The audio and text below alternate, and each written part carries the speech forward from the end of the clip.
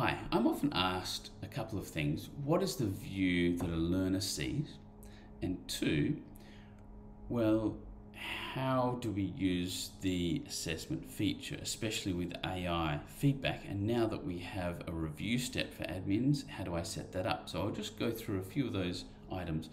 What you see here is the student view of learning, and in this case, we've used the CourseBox new AI avatar creator to build an avatar teacher. We've also added in our CourseBox AI tutor to the course. So you can see when a learner clicks that, the viewing area pushes to the left and I can engage with my tutor as well as view the virtual teacher on the screen.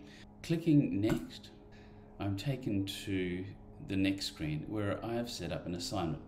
This was generated by CourseBox AI Writer for assignments and it generated for me a scenario which is where a learner might really have to think and you'll see that there's a grading rubric. Now that can be hidden from the learner but in this case we've just made it very transparent and then as the learner I can submit into the box or I can upload a Word file.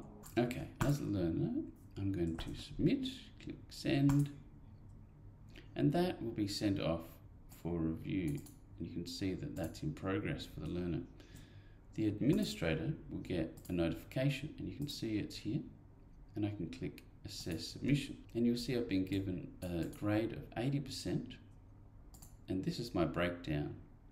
So it's very comprehensive breakdown and I can edit that I might decide to, to give some additional feedback or I could change part of the breakdown of the feedback in the rubric grading.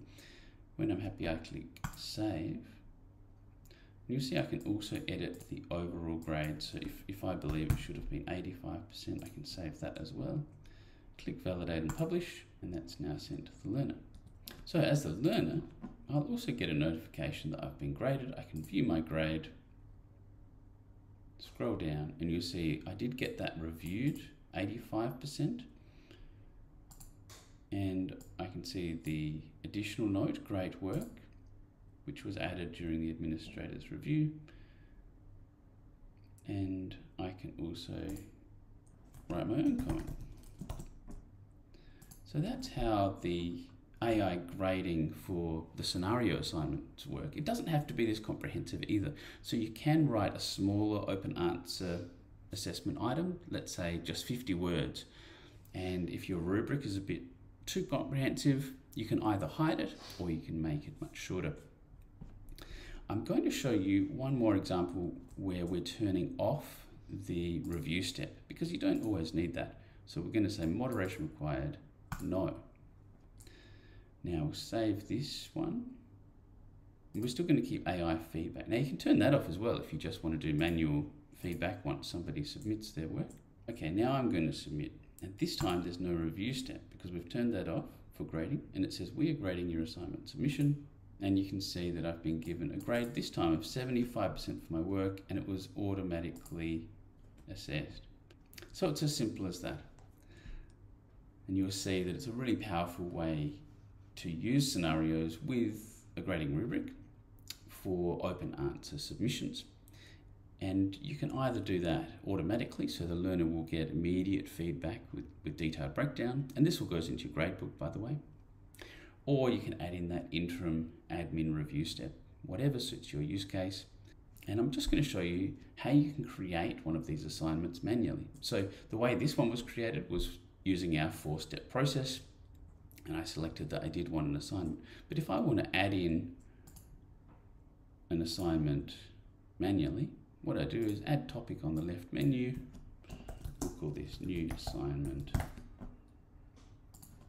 Go into that page. Click on AI Writer. Click on AI Assignment Writer. And I can give a lot more details in my instructions. This should be a short assignment and we'll just make it a 50 word count and up that page and just refine that until I'm happy and down here in the rubric generator. Again, I can I can edit the criteria and what point is allocated up to 100%. Make sure it adds up. And you'll see if I look at assessment, in this case there's been no pass grade assigned, so I'm going to change that to 50%. And this is where you would turn on or off moderation or indeed turn off AI feedback. And if you don't want a pass grade and you just want learners to be forced to engage and then just move on to the next page, you can certainly turn off pass grade. And that's really good in some compliance scenarios where they're either, they've either done the work or they haven't. And you can always preview using the preview mode. And that's it. So thanks very much. Hope you enjoyed this tutorial. Cheers.